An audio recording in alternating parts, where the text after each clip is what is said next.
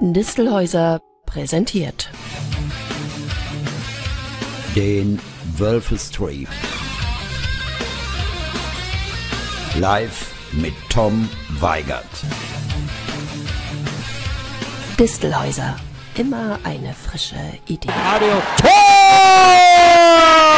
Arena und wir melden uns äh, mit den 25 zu 19. Tor durch die Nummer 7 durch Stefan Schmidt. Wunderschön durch die Mitte durch seine angestammte Position. Rimperwölfe gegen Salui. Fast hatte Tom Weigert recht mit seinem Tipp, den er abgegeben hat.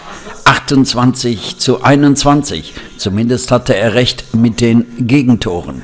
Endstand 26 zu 21. Tom Weigert mit den Stimmen zum Spiel. Ein großer. Das war doch balsam auf die Handballseele. Nach diesen drei Toren in der ersten Halbzeit Rückstand.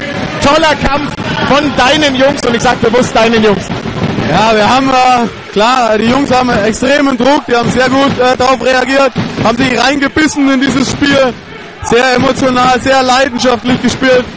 Äh, so wie wir sie kennen, vom Willen her alles gegeben äh, und von daher hat es heute richtig Spaß gemacht. Ja, da bin ich, also ich meine, es gibt ja heute wirklich nicht viel zu bemängeln. Wir haben es gesehen, nicht viele Auszeiten von Matthias Obinger, toll eingestellt die Mannschaft nach dem letzten Auftritt, den man hatte. Also von der Sicht aus, was sagst du? Hast du heute irgendeinen Schwachpunkt gesehen bei dem Team? Ich habe ihn heute nicht gesehen und ich habe heute wieder mal einen tollen Max Brustmann gesehen. Ja, das mit Sicherheit. Also wie gesagt, wir haben eine sehr gute äh, kämpfende Abwehr gehabt mit äh, Max Brustmann dahinter, der wieder in geiler Form aufgelaufen ist. Und natürlich muss man, muss man auch sagen, äh, es ist auch sensationelle, sensationelle Stimmung hier heute in der Halle. Es lohnt sich hierher zu kommen, es macht riesig Spaß. Ähm, aber natürlich äh, kann man immer was verbessern und äh, ich, ich, bin mir sicher, der, der, Obi hat auch ein paar Sachen gesehen, die ihm nicht gefallen hat und die wird er ansprechen, dass wir am Samstag in Hagen bei einem richtig, richtig schweren Auswärtsspiel äh, wieder Vollgas geben können und vielleicht äh, den Lauf weitergehen können. Ich freue mich auf Hagen, ich bin wieder dabei, ich fahre am Samstag mit. Du wirkst gut gelaunt heute. Sehen wir dich am Samstag in Hagen? Ja, auf jeden Fall. So wollte ich das hören. Vielen Dank, Daniel. Danke. Bei mir am Mikrofon, ihr kennt ihn alle. Natürlich kennt man diesen Herrn, Norbert Hufgart von TV Touring. Norbert, wie hast du das Handballspiel heute gesehen? Sehr entspannt, wirklich sehr relaxed, weil ich hatte ja im äh, Vorfeld das Interview machen dürfen mit den wahren Experten und die waren sich einig mit fünf. Und deswegen hat Max wahrscheinlich auch den abschließenden sieben Meter gehalten. Ähm, man erkennt die Wölfe kaum wieder, wenn ich an diese blöde erste Heimniederlage denke. Toller Lauf, ähm, einfach tolles Spiel, schöne Strategie. Wirklich die ganze Mannschaft eingebunden, wenn man in der Breite der Bank das sieht. Tolles Spiel, toller Abend. Ich komme wieder am Freitag in einer Woche.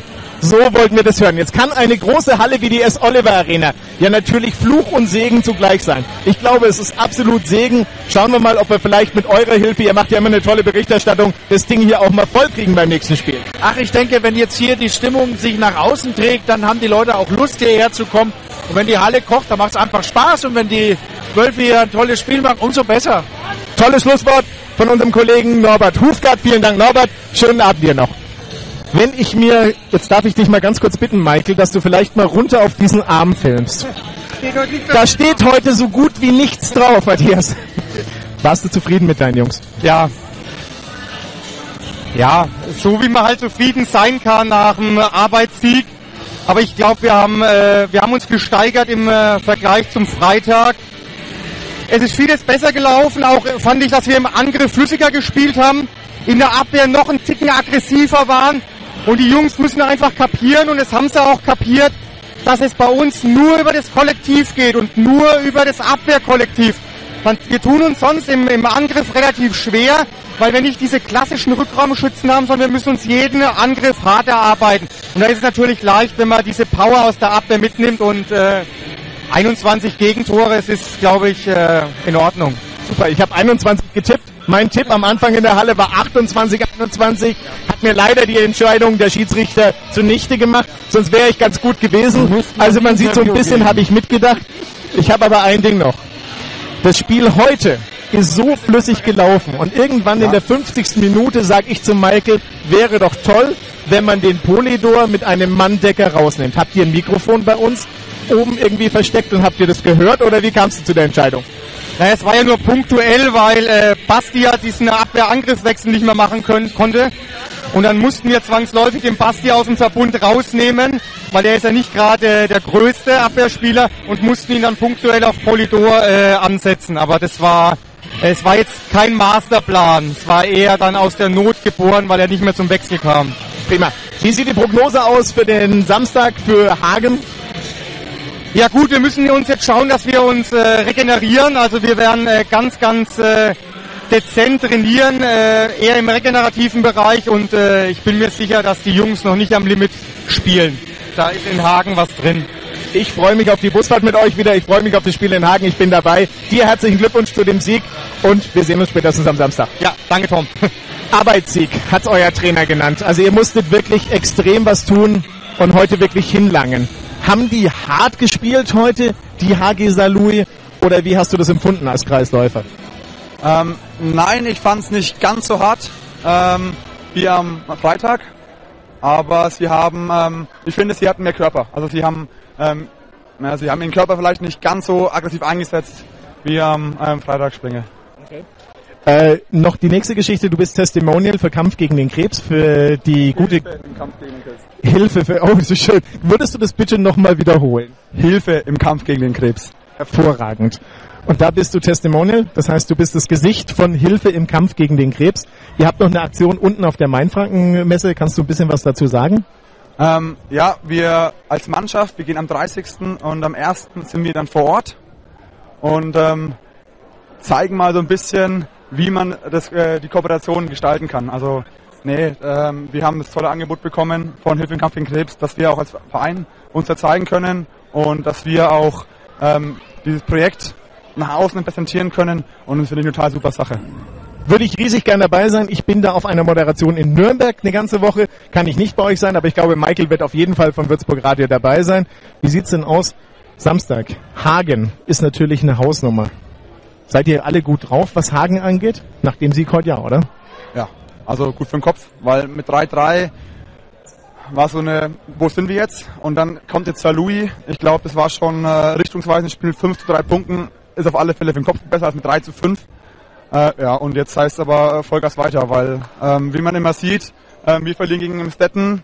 Hier, wir schlagen den Emstettener Be Bezwinger. Also da kann jeder jeden schlagen und Auttun ist da echt nicht. Gut, dann freuen wir uns auf den Samstag. Jan, vielen Dank. Erhol dich. Viel Spaß beim Duschen. Und wir sehen uns nachher noch hinten im VIP-Bereich. Eben. Grüß dich. Erstmal herzlichen Glückwunsch zu eurem Sieg. Ja, danke schön. Nicht ganz mein Tipp. Da hätten noch zwei oben drauf gemusst. 28, Ja, ja, ja, hat mir, hat mir der Schiedsrichter kaputt gemacht, sonst wäre ich da richtig gut dabei gewesen. Ich habe da oben schon gesessen und habe gesagt, ich verdiene mein Geld jetzt mit Lotto-Tipps in der nächsten Zeit und nicht mehr mit Handball-Tipps. musst aber viel setzen auch. Was? Ähm, nach der Verletzung, du hast mir einen ganz guten Eindruck gemacht, einen relativ fitten Eindruck. Geht's dir schon wieder gut? Ähm, ja, also ich bin äh, so muskulär, habe ich keine Probleme mehr. Da, da geht's mir geht's mir echt gut. Hab dann ähm, ab der 45. Minute ungefähr bisschen den Trainingsrückstand halt auch gemerkt, also konditionell. Aber da bin ich ähm, mit dem OB dran, äh, das aufzuarbeiten, ähm, läuferisch halt. Aber sonst habe ich mich habe ich mich gut gefühlt, ja. Also habe auch da irgendwie nicht im Hinterkopf ähm, Angst, dass irgendwas passiert oder so. Das war war in Ordnung, ja. Prima, das heißt, wir sehen dich also am sicherlich am Samstag wieder. Ich gehe davon aus, ja. Falls bis dahin nichts passiert und äh, der Trainer mich aufstellt, äh, bin ich dabei, ja. Na, da gehe ich mal fest davon aus. Dein Bruder ist auch wieder fit soweit? Ja, der hat jetzt ähm, auch erst letzte Woche in, äh, dem Training wieder angefangen, hat Sonntag ein bisschen bei der zweiten Mannschaft gespielt. Ähm, fühlt sich so auch ganz gut, aber merkt natürlich auch jetzt den, den, den Trainingsrückstand, war glaube ich acht oder neun Wochen weg, ähm, davon noch sechs, sieben an Krücken, also das merkt man natürlich schon, ähm, sagt er auch selber, aber ist auf mir jetzt auf einem guten Weg, dann in zwei, drei Wochen wieder voll fit zu sein. Ja. Jetzt habe ich noch eine Frage. Ich weiß nicht, wie das bei euch im Profibereich ist. Ich kenne ja nur den Bereich bis zur Oberliga hoch, was meine Handballkarriere angeht. Bei uns gab es immer früher so eine Geschichte, das ist vielleicht für die Hörer interessant, des Festspielens. Wenn man mal irgendwo in einer Liga gespielt hat, dass man dann nicht von oben nach unten wechseln kann. Wie kommt der Wechsel vom Tom in die Liga 1 unter euch? Ja, äh, das ist, gibt's eine neue Regel, ich glaube seit drei, vier, fünf Jahren so. Ähm, hat der DHB eine Regel eingeführt, um halt Spielern unter ähm, oder bis 23 Jahre ähm, Spielpraxis zu geben. Ähm, zum Beispiel, wenn sie bei einem Erstligisten sind, dass sie äh, auch bei der zweiten Mannschaft eben äh, spielen können und sich nicht festspielen. Und das kann man eben ähm, bis zum 23. Lebensjahr machen. Und da haben wir ja noch zwei Jahre. Von daher ähm, kann man das dann auch immer mal ganz gut nutzen, um nach einer Verletzung wieder ähm, Spielpraxis erstmal sammeln zu können. Prima, Sisse, habe ich auf meine alten Tage noch was gelernt. Herzlichen Dank, herzlichen Glückwunsch nochmal. Lass es dir gut gehen. Wir sehen uns am Samstag. Dankeschön. Gut, das war's heute. Distelhäuser Handballtour aus der S. Oliver Arena. Mir hat's einen riesen Spaß gemacht, wieder mit Ihnen, mit euch, wie auch immer wir die Fans der Rimparer Wölfe nennen, mit meinem Wolfsrudel. Bis zum nächsten Mal am Samstag. In Hagen melde ich mich wieder. Euer Tom Weigert. Distelhäuser präsentiert. Den Wölfe-Stream. Samstag, 19.09.19 Uhr. Live mit Tom Weigert. VfL Eintracht Hagen, DJK Rimpa Wölfe. Distelhäuser. Immer eine frische Idee.